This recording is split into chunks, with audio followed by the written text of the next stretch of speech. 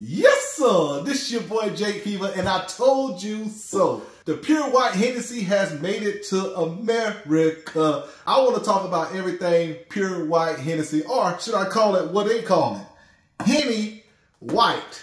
Hey, and they didn't even say Hennessy White, they call it Henny White. 2023 marks the 25th anniversary year of Pure White Hennessy coming out. So they decided to drop it in America for everybody to enjoy. So y'all better go get it. So let's talk everything Pure White Hennessy or Henny White. So your man Jake brought all his bottles out, all the bottles that I have of the Pure White Hennessy and the Henny White, and I'm gonna tell you about them. This here is the original bottle of Pure White Hennessy. It came in a smaller stout.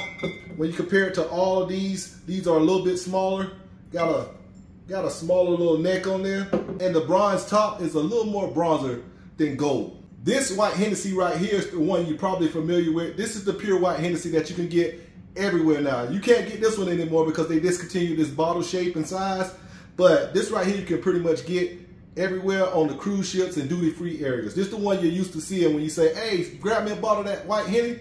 This is it. This right here is the baby pure white Hennessy. Now this is only seen like in airports and duty free and international flights. This is the only place I ever seen it before, but it's not a lot of minis going around. This VS Pure White Hennessy was an experimental drop. They dropped this a little while back, but it was only a selected few bottles of this. So you might have not seen this before, but here it is right here. Oh yeah, and Pure White Hennessy, they have some Pure White Hennessy coated cigars in the Caribbean too. Just wanted to mention that. Now let's talk about some specific differences in these bottles. Now this is the one you're used to seeing, and this is the one that just came out. This is the 25th anniversary of this edition of Hennessy, and they show it on the top of the bottle. They don't have pure white on this bottle at all, because I guess that's like a Caribbean or a duty-free area brand. If you notice, they don't have pure white on the new bottle at all. It just says Henny White.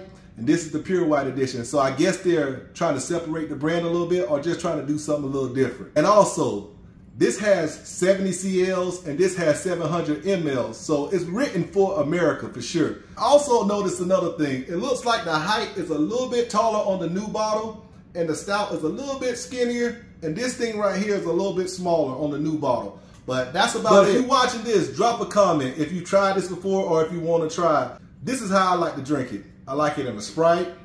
I like it in daiquiris. I like it in pina coladas. I like it with pineapple juice. I pretty much think this is a diverse mixing drink. You can mix it with anything you want to. So if you're out there looking for this, the price point should be between $90 and about 110 bucks, depending on where you're at. If you're paying higher than that, it's egregious. They are charging you too much. Yes, sir.